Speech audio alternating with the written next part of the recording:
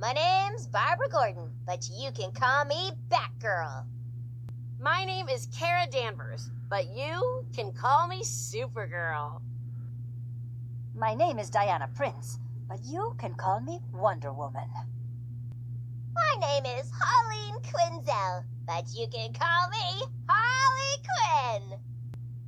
My name is Selina Kyle, but you can call me Catwoman.